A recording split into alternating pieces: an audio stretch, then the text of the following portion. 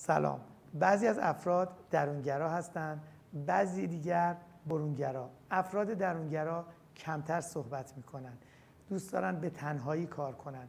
معاشرت زیاد نمی‌کنن به عبارتی سر در لاک خودشون دارن.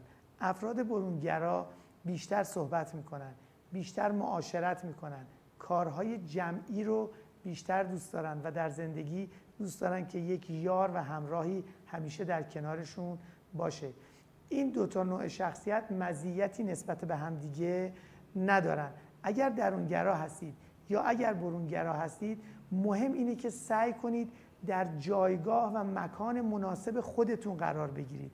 اگر در بستر مناسب خودتون قرار بگیرید در زندگی موفقتر خواهید بود کاراییتون بیشتر میشه و برند شخصی قویتری خواهید داشت. خیلی ممنون. خداحافظ.